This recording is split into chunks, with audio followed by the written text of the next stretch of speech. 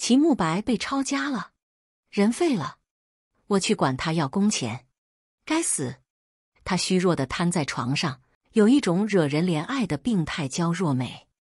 他要是愿意以身抵债，我也没有意见。哎，真是倒了大霉！谁能想到昨天还威风赫赫的齐将军府，一夕之间就倒了呢？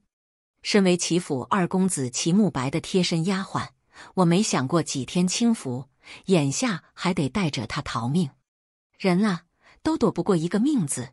齐家祖上世代从军，立下的战功数不胜数，一次小小的失误，竟惹得圣上震怒，诬陷二公子通敌叛国。可怜二公子负伤从战场回来，家门都没进，直接下狱了。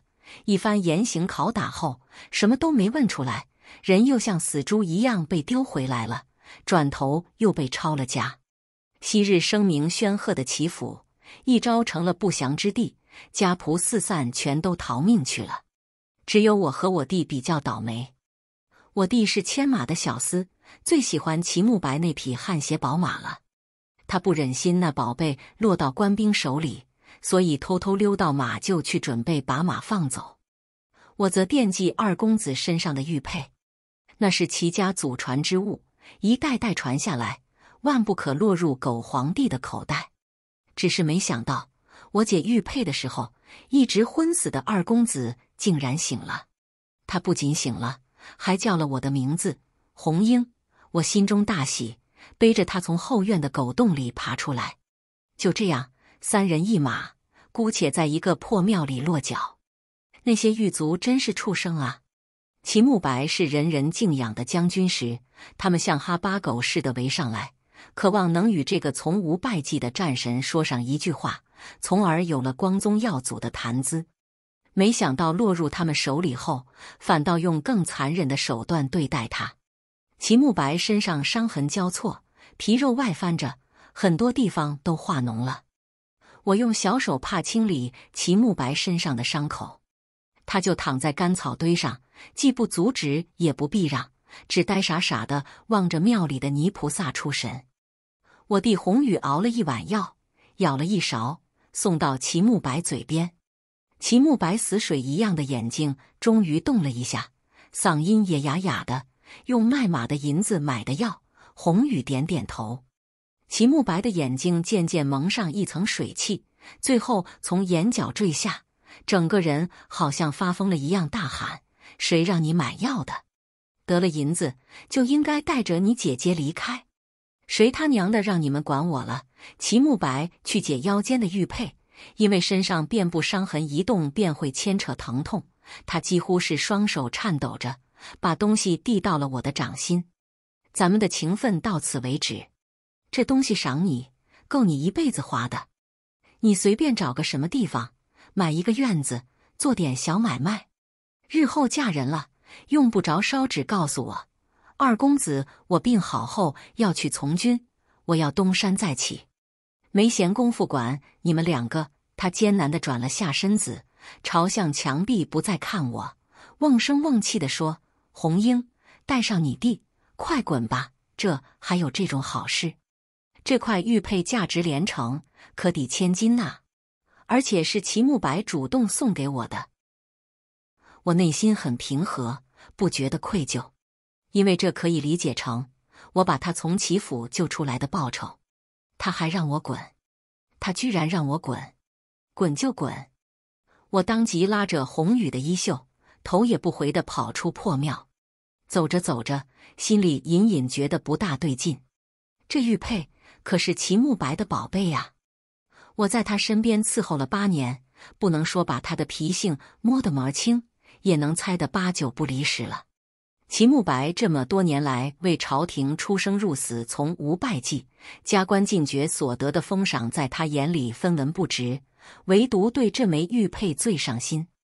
每次出征前，他都把玉佩郑重其事的交到我手里，再三叮嘱一定要保管好。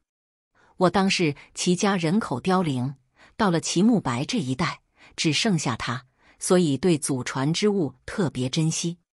既然是如此珍惜之物，又怎会舍得给我？我返回破庙，正巧看见齐慕白支撑着身子坐起来，用我遗落的手帕仔仔细细擦干净脸。一旁的药碗被他摔破，他拿了一个最为锋利的残片，要对着脖子割下去。我就说嘛，齐慕白一反常，准没好事。我一脚踢开庙门，装作匆匆赶到的样子，对着齐慕白怨道：“你什么意思？这玉佩是假的？我拿假玉佩怎么买房置地？怎么寻觅夫婿？”齐慕白一脸错愕的看向我，眼里带着天大委屈无处诉说的凄苦，哽咽着说：“连你也觉得我在说谎？我是齐慕白，我他娘的是齐慕白，我会说谎？”老子说没通敌就是没通敌，老子说那玉佩是真的，它就是真的。那可真是抱歉，我走过去把地上的残片踢干净，是不是真的？等你身子养好了，随我到当铺里问一问，不就知道了？红雨又递过来一碗汤药，我掐着齐慕白的双颊，趁他没缓过神，一抬手全给他灌进去了。齐慕白咳嗽了好一会，再抬头时，眼睛反倒亮了几分。红英，你行？等老子好了，谁不去当铺谁是狗！我坐在干草堆上，从齐慕白的衣襟里抽出我的手帕，给他擦干净嘴角的药汁。不过我要去的当铺不在这京城中，这玉佩京城里的人都认得。我今天若是敢拿着叫人相看，明天就得在大牢里蹲着。我要去永州，听闻城中有家瑞兴典当行，典当行里的陈大掌柜最识货，我就找他。齐慕白躺在枯黄的草堆中，咬牙切齿地说：“行，我跟你去永州。永州是个山清水秀的城镇，距离京城甚远。红宇想买一辆马车，这样行程会快些。有时候我觉得这孩子真傻，在齐慕白身边熏陶这么多年。”也没见他长多少智慧。齐慕白想自我了结，只是一时冲动罢了。等他想清楚、想明白了，再看看沿途的好风光，总会重燃希望的。我对着红雨的后脑勺打了一巴掌：“买一只驴，套上一个板车，慢慢走就行了。板车上铺着一层厚厚的干草，齐慕白往上面一躺，一张俊脸拉得比驴还长。”目光似有留恋的望向渐行渐远的京城，齐家兴在此，败在此，这是个让他又爱又恨的地方。我不知道齐慕白这一刻心里都想了些什么，只看到他的双拳攥得紧紧的。最终，他只是摸了摸腰间的玉佩，又缓缓地看向我。驴车慢吞吞行走在树荫间，彼时正是盛夏。烈日从枝叶的缝隙间投下斑驳光影，印在齐慕白清新俊逸的面容上，更添了几分书生气。炼星一般的眼眸，在忽明忽暗中似乎闪着不一样的光。说来真是奇怪，齐家世代从军，按说都应该长成杀气腾腾的彪形大汉，才有气势镇得住万万将士。可齐家的每一代将军。眉眼间都有一股悲天悯人的气度。八年前，我带着弟弟逃难到京城时，曾有幸见过齐家的三位将军，分别是齐慕白的祖父、父亲和兄长。那时候，城中百姓夹道欢迎凯旋而归的齐家将军，齐慕白扬鞭催马跟在后面。我饿极了，索性把心一横，不要命似的冲上去抱住了他的腿。行进的队伍停止了，围观的百姓惊呆了。官兵的刀没有砍到我身上。齐慕白用马鞭挑起我的下巴：“小爷我一身清白，可不记得招惹过你啊？那会儿我不过十三岁，吓得瑟瑟发抖，依旧佯装镇定，请将军收留我们姐弟，我俩给你当牛做马都行。”齐慕白突然就笑了：“小丫头嘴还挺甜。”就凭你叫我这声将军，我今天也得分你个差事。此后八年，我一直在齐府伺候。八年里，边关战事连连，我亲眼看着齐家的将军们一身银甲上战场，再由马革裹尸送回家。圣上的赏赐填不满齐府日渐荒芜的宅子。等到齐慕白的兄长也战死沙场后，齐慕白又成了齐家的下一个将军。他坐在空无一人的厅堂里，面对着一箱箱的封赏，好像拥有了很多，又好像失去了所有。也只有我去叫他时，他才大梦初醒一般的回过神，笑嘻嘻的对我说：“红英，这都是小爷新得的赏赐。”全给你了，那都是齐慕白拿命换来的，我不敢要，我也不能要。现在想想，我可真傻，哪怕我当时存了那么一点私心，留下一件，现在都能富得流油。想起这些心酸事，我有些心疼齐慕白，转头望向他，果见他眼神哀怨的看向我。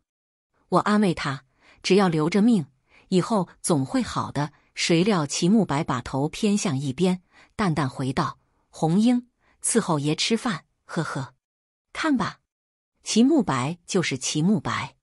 要不是他有病在身，我真想拿鞋底抽他。我掰了块饼子递给他，他也不接，还是用怨天怨地怨空气的眼神瞅我。以前你可不是这样照顾我的，这话倒也没错。我对齐慕白。比他娘照顾的还用心。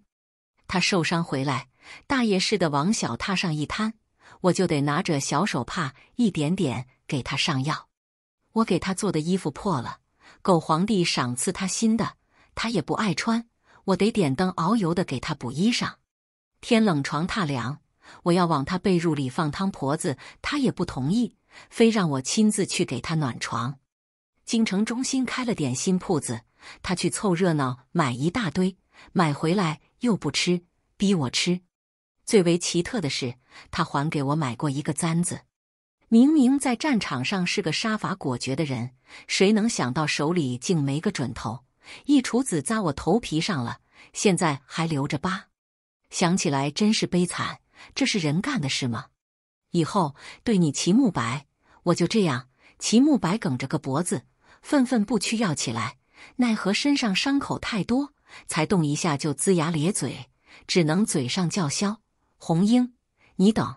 我平日看惯了齐慕白威风凛凛的模样，现在看他这副傻样，反倒觉得心情变好了。我掰了一小块饼子，不错分毫的塞到他嘴里。你想说等爷身体好了，要好好收拾你，对不对？我摊手，齐慕白，这话我都听了八年了。也没见你的马鞭抽在我身上。齐慕白一噎，恶狠狠地嚼着嘴里的干粮，嘴里的吃完了，他就艰难地举起胳膊夺走我手上的干粮。这才对吗？你的身体正在愈合，如果长期不动，伤口会粘连的。齐慕白回我一个大大的白眼。不过很快，我就发现他在似有若无地动着手指，好像比昨天灵活了一些。手里的银子所剩无几，我们也没去客栈，晚上就宿在林子里。火苗渐渐熄灭，红雨煎完最后一副药给齐慕白喝下，他的身体仍旧虚弱。喝完药后，整个人昏昏沉沉的睡在板车上。我与红雨商量，前面是崇州城，我去找个活计赚点银子给二公子买药。红雨不同意。当年是姐姐不顾死活的冲上去，才有咱们的活路。今天弟弟已经长大了，哪有再让姐姐出头的道理？我笑着摸摸他的头。如果你想让姐姐安心，就守好齐慕白。我们要把他完好无损的送到永州去。只有到了那里，齐慕白才能堂堂正正的活着。红雨恍然大悟：“姐，我知道了，永州有。”我慌忙按住了红雨的嘴。齐慕白性子倔强，人又狂妄惯了，骤然面对打击，一时转还不过来。等他清醒了，他会明白的。我小心的给齐慕白上药，听着他清浅绵远的呼吸声，突然觉得这样也挺好。至少现在在我身边的是个活生生的齐慕白，不是那个用马革裹回来的齐慕白。我趁着齐慕白没睡醒，启程上路了。崇州城内比我想象的热闹许多，有小贩在路边卖馄饨，有货郎挑着担子卖杂货，布庄的老板开门迎客，青楼的姑娘挥着手帕在门口嘻嘻叫嚷。我逛遍了好几条街，才找到有一家饭馆招跑堂的。我跟老板说明来意，他用眼神由上至下的将我刮三遍。你要当跑堂的？他哼笑了一声，简直是笑话。我这不招女的。说完，他朝南边指了指，要找活就去春香楼，别耽误我做生意。春香楼就是我刚刚路过的青楼。我犹豫再三，还是壮着胆子走过去。里面的老鸨脂粉抹得浓。看不清本来面貌，只问我来卖身的，我摇头；卖艺的，我摇头；卖唱的，我还是摇头。说起来真是惭愧，在齐府八年，我好像什么都没学会。入府的时候，齐夫人还健在，想要把我分到厨房去干活，是齐慕白给拦下了。不过十五六岁的年纪，端坐在椅子上装大半算。母亲。你看他们姐弟俩瘦成这样，去厨房间不能扛手不能提的，搞不好还会偷吃。派到我院里吧，弟弟给我牵马。姐姐，他思忖了好一会，应该是没找到合适的活计分派给我，就坐在那里瞎编。姐姐就给我扫院子，对，让他扫院子。我每日练枪，院里的挥枪的我咳嗽。齐夫人看看他，又看看我。不露声色的笑了，我就这样跟着齐慕白回到了属于他的小院子。他没让我扫院子，只问了我的名字。我答：徐萍萍。齐慕白皱眉：哪个萍？浮萍的萍。我点头，发觉齐慕白有点不高兴了。谁给你取的？身如浮萍，命似纸薄，这名字起得像狗屁一样。听他这么说，可把我气坏了，又不敢反驳他，只能等着这位爷赐名。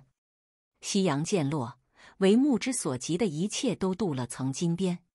庭院中不知哪个角落刮起一阵微风，送来茉莉花的香气。那个夜晚对于十三岁的我来说，显得昂贵又奢靡。我从不曾见过一个比他还英俊倜傥的小公子，仿佛在此情此景下。遇见他这一次，就用光了我这辈子所有的好运气。英俊倜傥的小公子在那阵似有若无的香气中沉吟。我最喜欢红缨枪，以后你就叫红缨吧。成了红缨后的我，等于被他养在了院子里。齐慕白这个人张扬跋扈极了，他不准任何人使唤我。我每天唯一需要做的事，就是跟在他后面管他叫将军。我一叫他就高兴。他一高兴就赏我点心吃，顺带着连我弟弟都沾了光，也赐名红雨，取自他房中那张红雨弓。他平时除了给齐慕白牵马，什么活也不用干。简而言之，就是齐慕白把我养废了。我一个丫鬟，偏偏被养成了小姐，小姐也没个小姐样。我不会弹琴作诗，不会下棋绣花，闺阁女子会的那些。齐慕白从来没对我有过期待，他说希望我能过得快乐，不是天天在深闺里待着。所以这活棒槌一有功夫，就教我练红缨枪、射红羽箭。他还教我识字写字，说等他上了战场，要我天天给他写家书。我思来想去，也没想到自己能做什么，有些尴尬的望向老鸨：“咱们这缺打杂的不？”老鸨比我想象中和善。把我安排到小厨房，负责给做饭的大师傅打下手，每月工钱二两银子。我与老鸨定好明日来上工，急匆匆的往回赶。远远就看见齐慕白朝我回来的方向坐着，一看见我的身影，反倒身子一滑，又瘫了下去。红雨哭丧着脸：“姐，你可算回来了。二公子听说你去城中找活干。”气得一天没吃东西，我就说齐慕白是个活棒槌吧。我把买来的两只鸡腿，一个给了红雨，一个递到齐慕白面前。哇，好香啊！齐慕白冷着脸拿走，我不吃。我也没说给你吃啊，我就是给你闻闻。齐慕白气得把后槽牙咬得嘎嘎作响，身子一挺朝另一边转去。那你就去一边吃，别在这碍眼。我咬了一口。凑到齐慕白身旁。嗯，真是香啊！你自求多福吧。如果你没挺住，死在去永州的路上，那我给你立碑的时候，可一定要刻上你给我贾玉佩的事。齐慕白立马回头，都说了他是真的，是真的。谁知道呢？我把鸡腿在他眼前晃了晃，反正那时候你都入土了，你管不着我。你行啊，红英。齐慕白应该是气急了，脸色憋得通红。你等我，我的老天爷呀！这句话我听的耳朵都起茧子了，就像之前喂药和喂干粮一样。我再次准确无误的把鸡腿插到齐慕白嘴里，快吃吧呀！别说话。齐慕白瞅瞅在不远处嘬鸡骨头的红宇，又看了看我，居然又把鸡腿给拿了出来。之前他受了大刑，食指都被夹得变形了，这几天才消肿，仍旧不太利落。他两手捧着鸡腿，把上面的口水擦干净，又费力的把肉撕成了条状，颠簸着走了这么久，还大口吃肉，小心一会胃疼。我觉得心里暖暖的，想哭又想笑，一颗心激荡的起起伏伏。最终只是拿起一块肉，递到齐慕白嘴边。齐慕白没吃，只让我把昨天剩下的饼子递给他。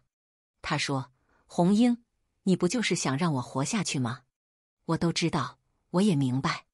可我……”齐慕白没再说下去，他沐天席地的躺在那里，透过枝叶间的缝隙去看天上的月亮。我想起齐慕白曾经在战场上写给我的家书，有一次他写道：“军中又伤亡了几百将士。”大家心中难受，于是围坐在篝火边唱思乡的歌谣。他听着歌声，久久不能入睡，就站在边陲万顷黄沙之中看天上的月亮。他说：“边疆的月亮很美，像家中的月亮一样美。”他还说：“他齐慕白这一生绝不会让月亮蒙尘。”我那时觉得他莫名其妙，还私下忖度是边关的黄沙把齐慕白吹糊涂了。直到这一刻，我才明白过来：太阳不能直视，唯有月光才能照入人心。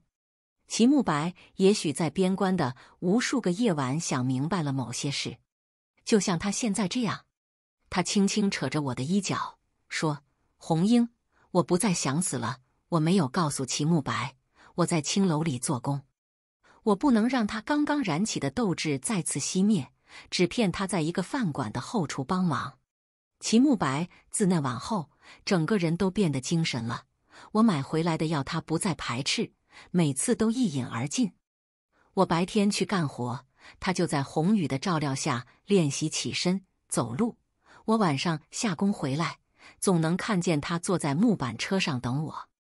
林间幽暗，他就拿着一个火把，痴痴的坐在那里等，以至于我远远的就能看见齐慕白被照得通亮的一颗头。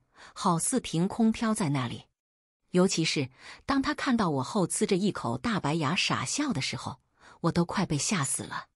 他总是把一天中发生的所有事都讲给我听，比如树上的鸟巢中心出壳了几只小鸟，他今天又练习着走了几步路，红雨又把鱼给烤糊了。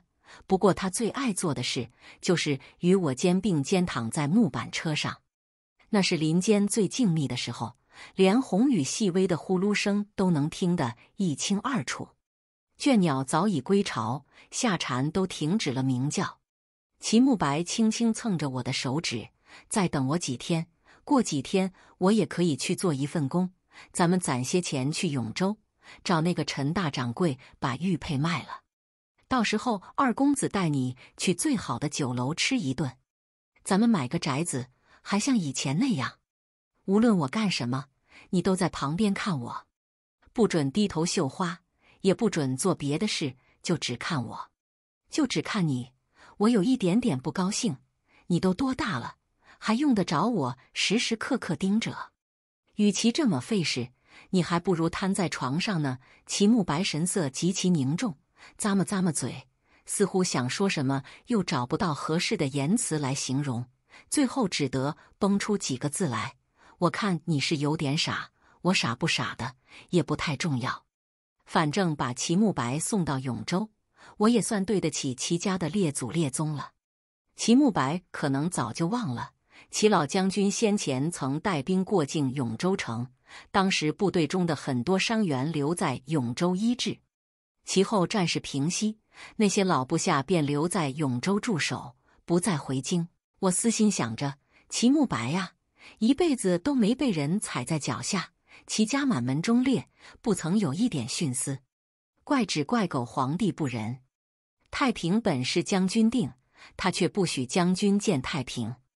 边陲的安宁是齐家上下几十口人用命换来的，才刚刚得了捷报。他就担心功高盖主，要将齐家斩草除根。那我就把将军送到他看不见的地方去，送到一个能忠心拥护、爱戴他的地方去，静静等待，等到所有人都遗忘了，所有人都麻痹了的时候，我要让齐家的红缨枪扎在狗皇帝的脑袋上。日子有条不紊过下去，春香楼恩客盈门，遇到出手阔绰的大爷，连我也能得些赏赐。有时忙碌到深夜才能回林子里。这日大雨，我站在春香楼的门前等雨停，看见有人撑伞在大雨中行走。此人似乎在寻找什么，每到一个铺门前都要朝内凝望片刻。瓢泼大雨似珠帘一般击打在地上，甫一落地又腾起白色雨雾，让人越发瞧不真切。他压低伞走过。却被门口迎客的姑娘给拉住胳膊，挣扎间，他看了我一眼，当时让我汗毛倒竖。是齐慕白，他在檐下，整个人愣愣的，有伞掉落在一边，比我还惊愕。楼里莺歌燕舞，迷音霏霏；楼外凄风冷雨，相顾无言。不知是不是我的错觉，我看见齐慕白整个人都在发抖。瘦削的脸庞变得极其苍白，只有湿漉漉的眼眶里泛着红。他最终捡起了油伞，朝我伸出了手：“红英，我来接你回家。”一路上我都不敢说话。这种事越描越黑，可能在齐慕白心里，我跟春风楼的姑娘也没有差别了。老实说，我心里害怕极了。齐慕白这个人吧，一向看不惯这种烟花之地。今年二十四了。从没进过青楼，用他的话来说，都怕一走一过污了他身上的祥瑞之气。现在好了，他这些日子吃进去的每一粒米，喝进去的每一口药，都是从这肮脏地方赚来的。他身上的祥瑞之气早没了，还是我背着他偷偷弄没的。大雨已停，整个林间泥泞路滑，我跟在齐慕白身后，亦步亦趋。月光不知何时显露出来，映在林间枝叶的露水上，泛着点点白光。借着这细微光亮，我看到齐慕白耷拉着头，一向宽阔的肩膀无力地垂了下去，像一只丧家犬。我心里既难过又担心，还怕大雨让齐慕白染了病，一颗心七上八下没个着落。事实证明，人就不能一心二用，更何况我都三用了。脚底一滑，要倒不到时，齐慕白反身把我扶住了。扶住了以后，他也没撒手，反而低头看我，一张俊俏脸蛋上泪痕斑斑，显然是默默哭过了。我伸手去擦，我还没死呢，你哭成这样干嘛？齐慕白疼惜的捧起我的脸颊，像拔萝卜似的那么用力。我的月亮因我而坠入深渊，老子就是拼到死。也他娘的要把你举起来！晚风拂动，林间传来树叶摩擦的沙沙响声，那细碎的、微小的响动，像是我心尖上难以抑制的狂欢。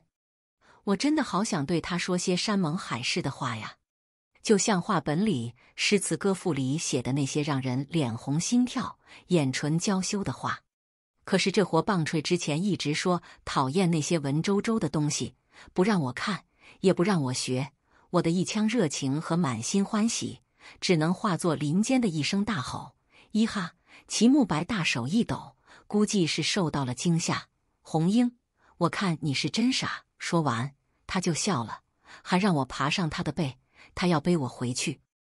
我趴在他的背上，双臂将他箍得紧紧的。齐慕白，我想跟你解释一下。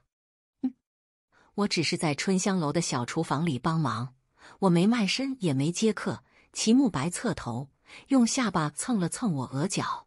我知道，我十分好奇，你怎么知道的？活棒槌说：“我活了二十四年了，没吃过猪肉，也见过猪跑，我就没见过有人大夏天在青楼里围围巾、戴兜帽的。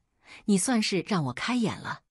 谁要敢说你是楼里的姑娘，我他娘的都觉得他脑子有病。”随着齐慕白身体的好转，我们启程去永州。齐慕白已经不需要再喝药了，余下的银子足够我们沿途的花费。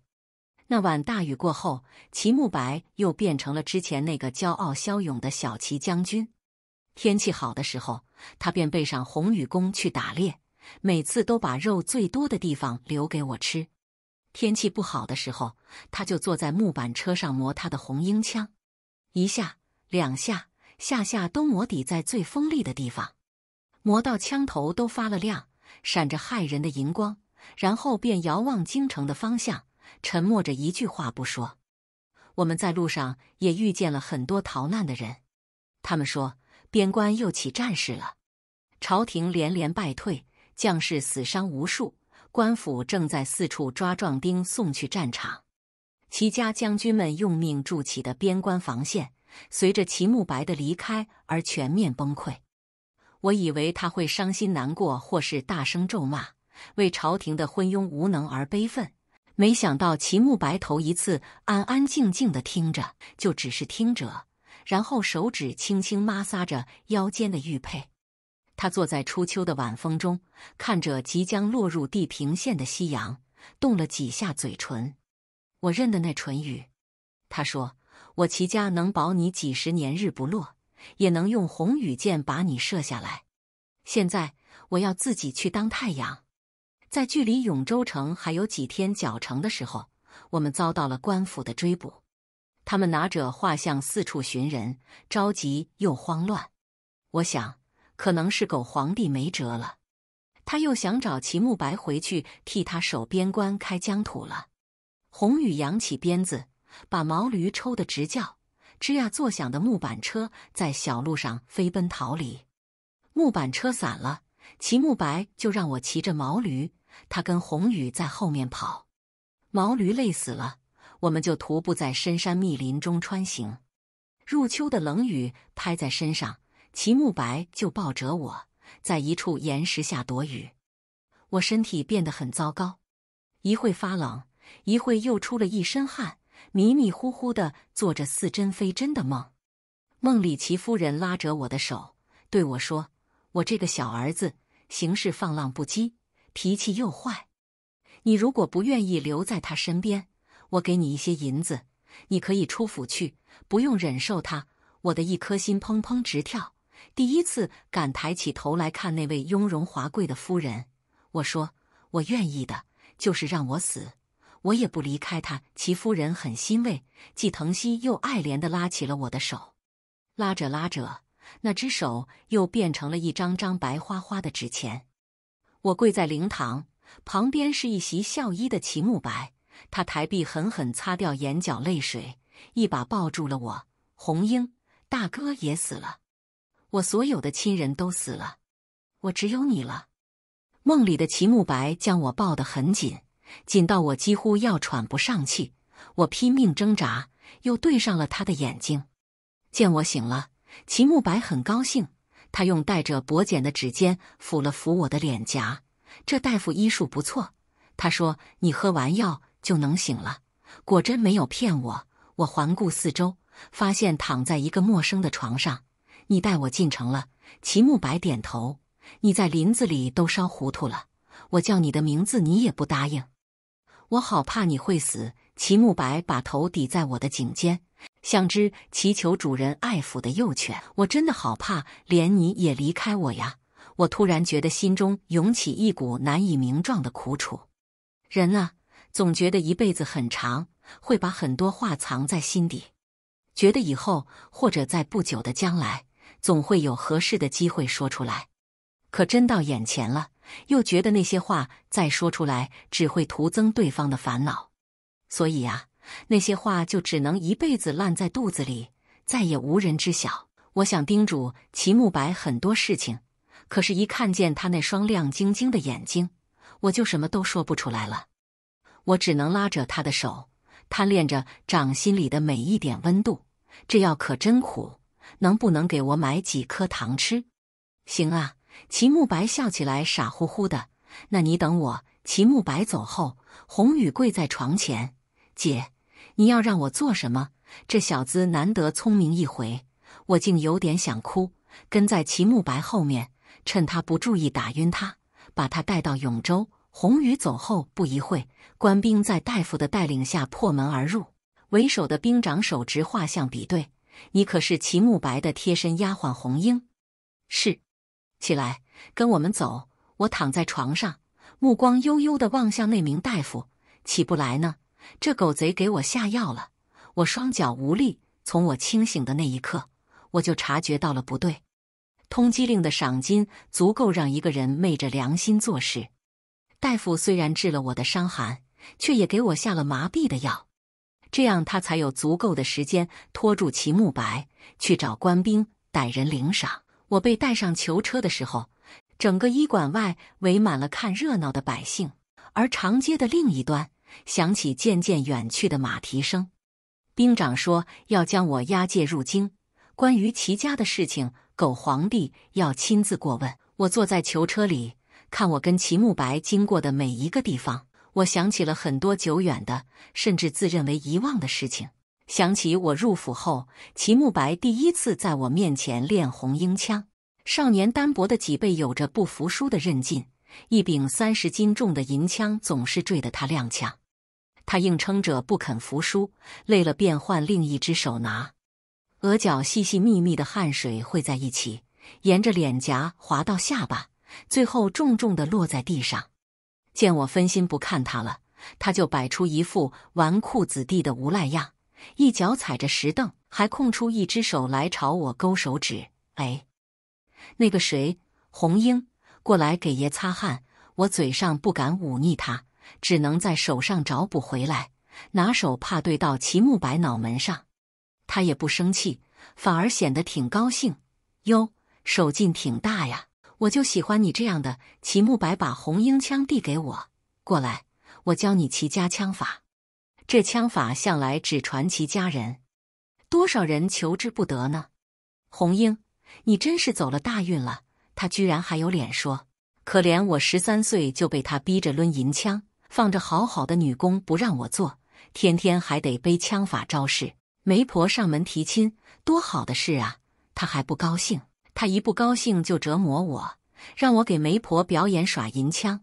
我压根就没记得多少，所以就东边刺一下。西边挑一下，见我糊弄他，他反倒凭空多出许多耐心来，贴在我身后，握着我拿银枪的手，一个招式一个招式教起来，比大姑娘绣花还认真。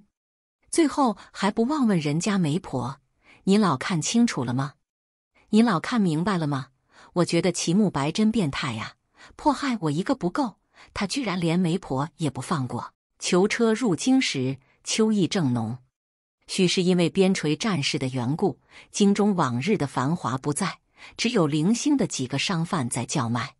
墙根下三三两两的蜷缩着难民，手里端着破碗，早已乞讨无门。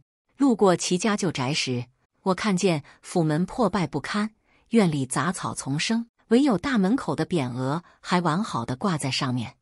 兵长把我押进大狱，狱卒们每天只问我一句话。齐慕白在哪？齐家在边关是否有密道？我反问：什么密道？狱卒答：齐家能够制敌取胜的密道。只要你说出来，就可解决眼下的边关战事了。哦，原来在他们眼中，齐家的诸位将军都是爬狗洞一样的密道去消灭敌军的。他们流过的那些血，赔进去的那么多命，还有战死的那些将士们，统统都是不作数的。狗皇帝稳坐龙椅几十年，靠的就是一条密道，就真的挺可笑的。我每天都被拖出来受刑，反正什么刑具用在我身上都一个样。齐家没做过的事，让我怎么招认呢？我经历着齐慕白先前经历的一切，也许那时的他比我现在还心如死灰吧。因为那个如玉的小公子，曾经是那样期盼自己能够成为一个上阵杀敌的将军啊。他挥动红缨枪练过的每一个招式，从红羽弓上射出的每一个箭矢，落入土中的每一滴汗珠，还有他私下里偷偷让我喊他的每一声将军，所有的一切都充斥着一个少年赤诚报国的心。怎么会变成了这样？人心怎么会变成了这样？我在日升日落里拖延着时间，挨到我觉得已经够了，甚至是我自己要挺不住的时候，我说。齐家有一个秘密，我想亲自呈报给陛下。狱卒高兴坏了，将我送到宫门口，工人把我送到大殿门口，掌事太监又把我带到金銮殿上。威严厚重的朱门推开，殿里站着踌躇无措的大臣们。老态龙钟的皇帝韦顿在龙椅上，居高临下的看着我。什么秘密？我环顾四周，欲言又止。我只能偷偷告诉你。不能让其他人知道我身上全是血，走路一步三颤，一副随时要死掉的模样。太监觉得我脏，不肯扶我；大臣觉得我像蝼蚁，只拿眼斜睨我。老皇帝为了他的千秋基业，不得不皱眉忍耐。朕准你上前，我只能一点点爬过去。金碧辉煌的大殿冰冷寒凉，我的伤口淋淋拉拉渗着血。每爬一步，地上就多一片红痕。爬的时候，我就想，等齐慕白成了皇帝，可得给我立个漂亮的墓碑。如果他有心，最好在墓碑上嵌点宝石，装点一下，碑上就刻“英勇大义女毕红英”。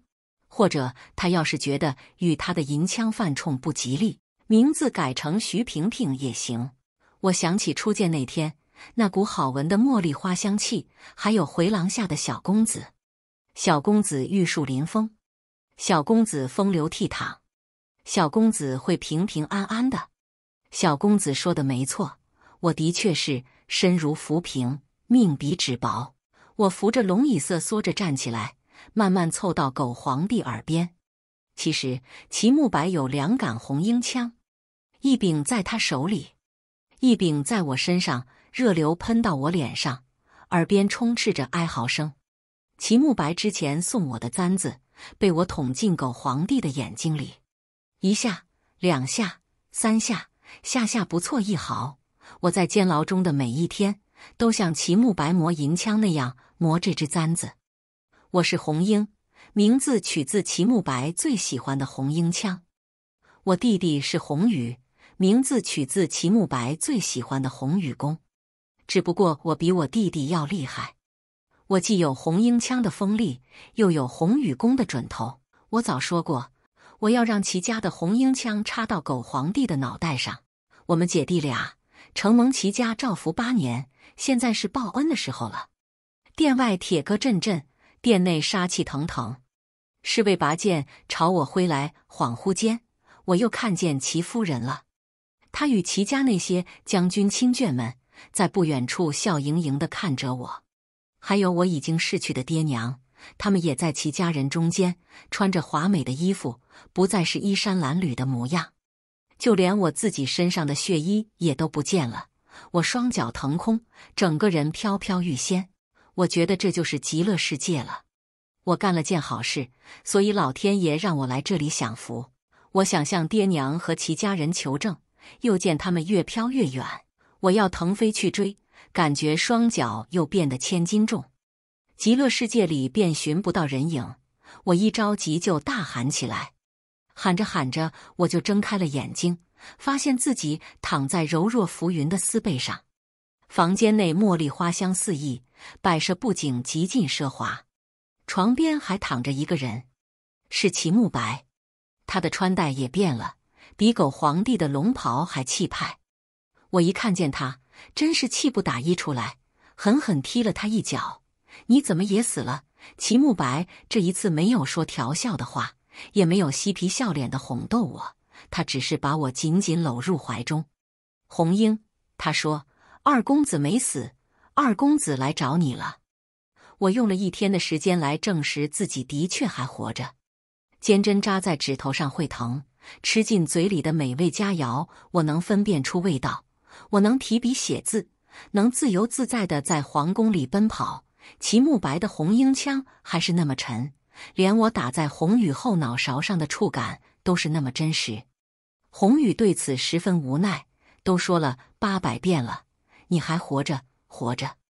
你扎死了狗皇帝，侍卫正要杀你，就被二公子一箭射死了。